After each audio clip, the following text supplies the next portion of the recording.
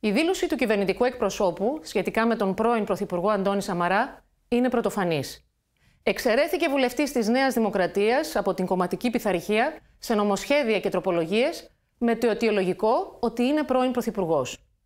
Μέχρι σήμερα γνωρίζαμε ότι για τα κοινοβουλευτικά κόμματα είτε δεν υπήρχε ζήτημα κοινοβουλευτικής πειθαρχίας, είτε υπήρχε και αφορούσε όλους τους βουλευτές.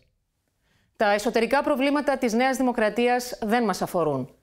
Ωστόσο, είναι οξύμορο ο Πρωθυπουργός, που είναι διατεθειμένος να κουρελιάσει το Σύνταγμα για τα ιδιωτικά πανεπιστήμια, να υποκλίνεται με αυτοεξευτελισμό στην ακροδεξιά του κόμματός του.